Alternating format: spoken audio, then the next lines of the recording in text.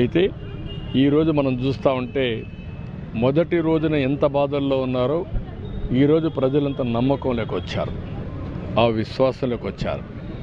కానీ రాజకీయ పార్టీలు నేను చాలా పార్టీలు చూశాను కానీ ఒక పనికి మాలిన నేరాలు చేసే పార్టీ ఘోరాలు చేసే పార్టీ ఘోరాలు నేరాలు చేసి వేరే వాళ్ళపైన వేసేసే పార్టీ. తొలి రోజు మూడు గండ్లు పడ్డాయి. ఈ గండ్లు పూడ్చలేకపోయాం అని సిగ్గుపడవలసిన పార్టీ ఎదురుదాడి చేసే పరిస్థితికి వచ్చారు. అదే మరి ఇంకొక పక్కన చూస్తే పదకొండు లక్షల ఇరవై వేల క్యూసెక్స్ నీళ్ళు కృష్ణాలోకి వస్తూ ఉంటే వీళ్ళ కలర్తో ఉండే బోట్లు వీళ్ళ ఫాలోయర్స్ అది కృష్ణా నదిలో వదిలిపెట్టే పరిస్థితికి వచ్చారు. దానికి సమాధానం కూడా చెప్పడం లేదు. అంటే మీకు బాధ్యత లేదా? ఎట్లొస్తాయి మీ బోట్లు? ఒక్కొక్క బోటు ముప్పై మెట్రిక్ టన్నులు వెయిట్ ఉంది. ఆ ము వచ్చింది ఐదు వచ్చాయి ఒకటి కొట్టుకొని పోయింది. ఒకటి ఎక్కడుందో తెలియదు మూడు వచ్చి కొడితే అక్కడ ఏదైతే సపోర్టింగ్ ఇది ఉంటుందో ఆ కా కౌంటర్ వెయిట్ ఏదైతే ఉందో ఆ కౌంటర్ వెయిట్ ఇరిగిపోయే పరిస్థితి వచ్చింది. ఆ కౌంటర్ వెయిట్ కాకుండా కాలంకే జరుగుంటే కాలమనే కొట్టుంటే ఏమైందని అడుగుతున్నా. పదకొండు లక్షల ఇరవై వేల క్యూసిక్స్ ఆఫ్ వాటర్ అంటే ఎంత ప్రవాహం ఉంటుందో మీరు గుర్తుపెట్టుకోవాల్సిన అవసరం ఉంది. అంటే లంగర్ కూడా పెట్టుకోకుండా బోట్లు వదిలిపెట్టారా మీరు? బాధ్యత లేదా మీకు? దాని మీద సమాధానం చెప్పరా మీరు? ఎందుకు జరిగింది? ఎట్లా జరిగింది? మొన్నటి వరకు దొంగ వ్యాపారం చేశారు ఇసుక వ్యాపారం. అలాంటి దొంగ వ్యాపారం చేయించిన బోట్లు ఈరోజు ప్రజాద్రోహంతో ఒక ప్రాజెక్ట్ మీద పంపించే పరిస్థితికి వస్తారా మీరు? దాని మీద సమాధానం లేదు. ప్రతిరోజు విషం జిమ్మే పరిస్థితికి వచ్చారు. ఏది ఏమైనా నాకు ఒక బాధ్యత ఉంది. నాకు ఒక పక్కన ఏడు లక్షల మంది కళ్ళ ముద్ర కనపడుస్తున్నారు. వాళ్ళ కష్టాలు కనపడుస్తున్నాయి.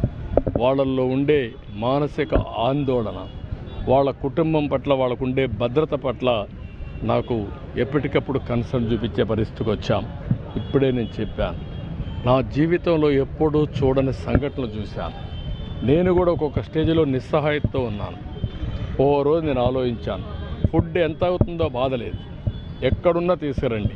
ఎన్ని వెహికల్స్ అయినా పర్వాలేదు. మీరు మొత్తం వాలంటీర్స్ వ్యవస్థ అందరినీ వాలంటీర్లు కానీ సచివాలయం కానీ ఉద్యోగస్తులు మొత్తాన్ని పంపించండి. ఒకవేళ అప్పటికి కూడా కాకపోతే కొంతమందిని టెంపరీగా పెట్టుకోండి. మనం డబ్బులు ఇస్తాం. కానీ లాస్ట్ మైల్కి వెళ్ళాలి. ఎన్ని బోట్లు అవసరమైతే అన్ని బోట్లు పెడదాం. లేకపోతే ఏ విధంగా చేయగలుగుతారో అన్ని విధాలు చేయమని చెప్పాను. అయితే ఎంత చేసినా కూడా నేను కూడా తిరిగితే తప్ప నాకు ఫస్ట్ హ్యాండ్ ఇన్ఫర్మేషన్ రాదని తొమ్మిది రోజుల నుంచి ఫీల్డ్లో ఉన్నా. ఫీల్డ్లో ఉండి నాకు వచ్చిన సమాచారం అంతా పెట్టుకుని మళ్ళా వ్యవస్థల్ని ఏ విధంగా బలపరచాలి వ్యవస్థల్ని ఏ విధంగా బలోపేతం చేయాలి అనే విషయాలు శ్రద్ధ పెట్టాను. చేసి ఈ రోజుకి ఒక కంట్రోల్లోకి వచ్చింది. ఒక సాటిస్ఫాక్షన్ వచ్చింది. ఒక పక్క ఇన్ఫ్లో ఏవైతే బుడమేరు నుంచి ఇచ్చే నీళ్ళు ఆపాలి. ఒక ఇద్దరు మంత్రులు అక్కడికి వెళ్ళి ప్లానింగ్ చేసి కడాన ఇరిగేషన్ మంత్రి అక్కడే ఉండి మొత్తం దాన్ని క్లోజ్ చేసే పరిస్థితికి వచ్చాడు. ఇంకో పక్క అవుట్ ఫ్లో. నేనే తిరిగి అవుట్ ఫ్లోలో అంతా చూసి మా ప్రభుత్వ యంత్రాంగాన్ని అప అప్రమత్తం చేసి అవసరమైతే ప్రత్యేకంగా కొన్ని ప్రొక్లైన్స్ పెట్టి అవన్నీ క్లీన్ చేయించాం దాంతో అవుట్ ఫ్లో వాటర్ పోయింది. ఇన్ఫ్లో కంట్రోల్ చేసాం ఈరోజు నీళ్ళన్నీ కూడా పోయే పరిస్థితికి వచ్చి రాత్రికో రేపో మొత్తం నీళ్ళన్నీ కూడా బెయిల్అవుట్ చేసే పరిస్థితికి వస్తున్నాం.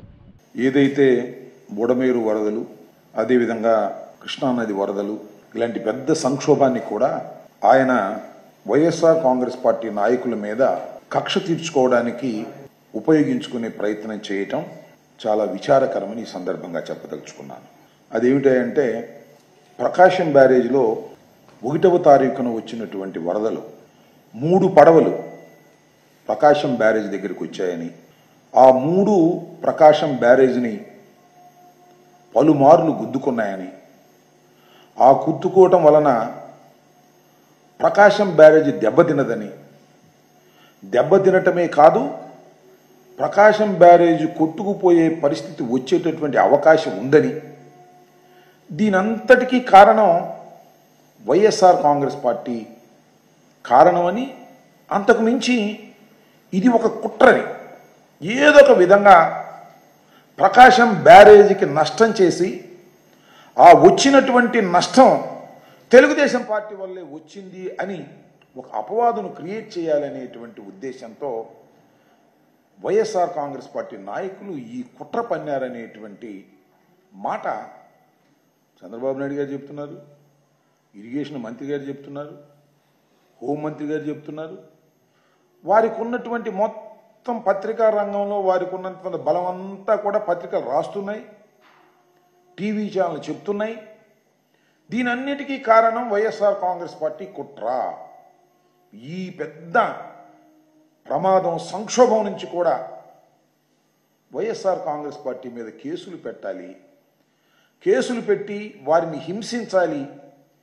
అనేటువంటి దృక్పథంతో ఇవాళ చంద్రబాబు నాయుడు గారు పనిచేయటం చాలా దురదృష్టకరమని ఈ సందర్భంగా నేను చెప్పదలుచుకున్నా. అసలు ఇదేం నాకు అర్థం కాల? మూడు పడవలు గుద్దుకున్నాయంట. మూడు పడవలు కాదు. చాలా పడవలు గుద్దుకున్నాయి. నేను మనవి చేస్తున్నా. మొన్న జరిగినటువంటి ఈ పెద్ద వరద వల్ల సుమారుగా పది లక్షల నలభై రెండు వేల క్యూసిక్ అనుకుంటాను. లేదా పదకొండు లక్షల పైచలు. పదకొండు లక్షల నలభై మూడు వేల క్యూసిక్ల వాటర్ ఎగువ నుంచి వచ్చింది. చాలా పెద్ద ప్రవాహం అది చిన్న ప్రవాహం కాదు. బహుశా ఈ మధ్యకాలంలో ఎప్పుడూ రానంత ప్రవాహం పదకొండు లక్షల నలభై మూడు వేల క్యూసిక్లు వస్తే ఎగువనున్నటువంటి బోట్లు తెగిపోయాయి. తెగిపోయి కొట్టుకొచ్చేసాయి. ఒకటి కాదు రెండు కాదు ఈ మూడు కాదు. టూరిజం బోట్ కూడా కొట్టుకొచ్చేసింది. సుమారుగా number of boats partially damaged రెండు వందల రెండు. According to the government report నాది కాదు. ఇవాళ ఇచ్చినటువంటి report number of fully damaged boats నాలుగు వందల ముప్పై రెండు. మొత్తం నాశనం అయిపోయినాయి నాలుగు వందల ముప్పై రెండు. నేను ఒక విషయాన్ని కూడా ఇక్కడ చెప్తా. ఈ మూడు బోట్లు టూరిజం బోటే కాదు. చిన్న చిన్న బోట్లు వచ్చాయి. అవి ఏంటంటే ఈ ప్రకాశం బ్యారేజ్కి సంబంధించినటువంటి గేట్లలో పట్టేటటువంటి బోట్లు. అలాంటి కొన్ని వందలు కొట్టుకుపోయాయి కిందకి. కింద ప్రవాహానికి కొట్టుకుపోయినటువంటి సందర్భం. ఈ మూడు బోట్లు చాలా పెద్దవి. కాబట్టి అవి పట్టేసినాయి.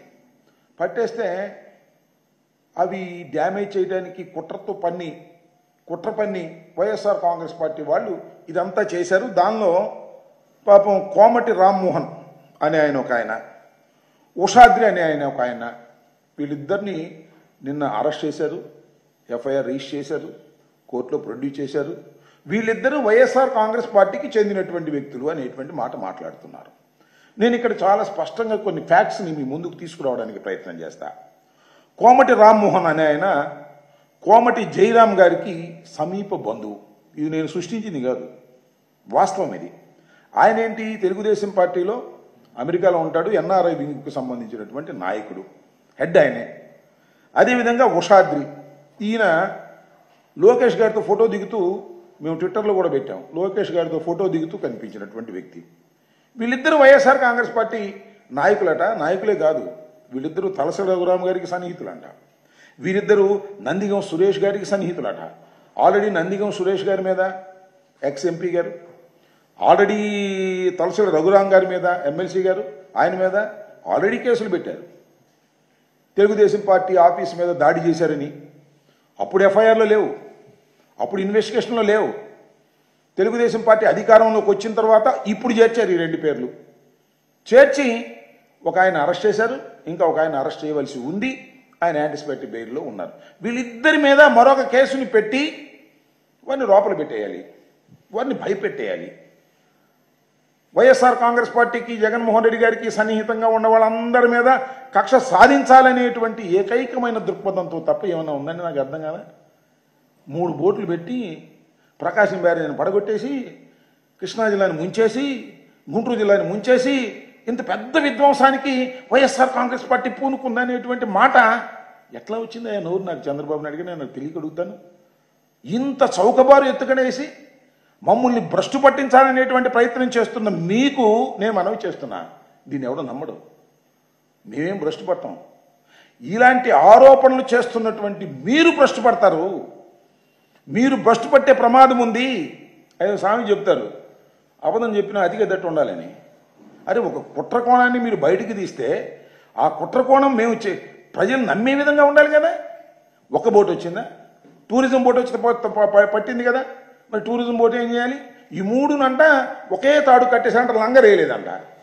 ఎన్ని పడవలయ్యా కొట్టుకుపోయింది మొన్న జరిగినటువంటి ఈ అసలు పదకొండు లక్షల నలభై రెండు వేల క్యూసిక్ల వాటర్ వస్తుందని ఎవరైనా ఊహించారా? ప్రభుత్వానికి మాత్రం తెలిసి ఉండాలి. ప్రభుత్వం హెచ్చరించాలి. ప్రభుత్వానికి తెలియదు తెలిసినా హెచ్చరించలేదు. ఈ బోట్లు కొట్టుకొచ్చి దానికి పడి ఆ కౌంటర్ మ్యాన్ అయ్యో ఆ కౌంటర్ ఉన్న పోలేదో దెబ్బతింటే దాన్ని జగన్మోహన్ రెడ్డి గారి పార్టీ మీద రుద్దేసి కొంతమందిని అరెస్ట్ చేసేసి లోపల పెట్టేస్తే ఒక పని అయిపోతుంది అనేటువంటి ఉద్దేశంతో మీరు ప్రవర్తిస్తున్నారు. ఏమిటిదంతా నాకు అర్థం కాల? ఎందుకు ఈ కక్ష సాధింపులు? చంద్రబాబు నాయుడు గారిని అడుగుతా ఉన్నా.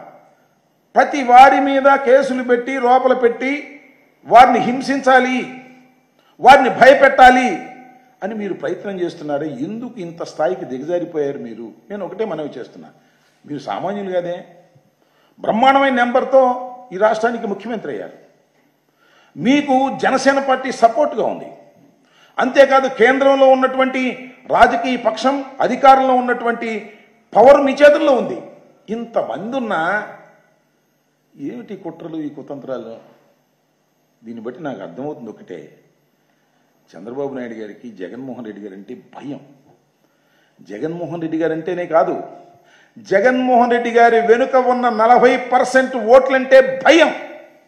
అంతేకాదు మీరు గెలిచారే ఆ గెలుపు మీది కాదని భయం. ముగ్గురు కలిస్తే మేము గెలిచాము లేకపోతే మేము ఓడిపోయే వాళ్ళము అనేది మీకు తెలుసు కాబట్టి భయం. జగన్మోహన్ రెడ్డి గారిని ఏదో ఒక విధంగా అణగదొక్కేస్తే పని అయిపోతుంది అనుకుంటున్నారు. అణగదొక్కేస్తే అణిగిపోయే స్థితిలో జగన్మోహన్ రెడ్డి గారు వైఎస్ఆర్ కాంగ్రెస్ పార్టీ లేదు అనే విషయాన్ని మీరు గమనించకపోవటం గ్రహించకపోవటం అది మీ అహానికి సంబంధించినటువంటి అంశమని మనవి చేస్తున్నాం.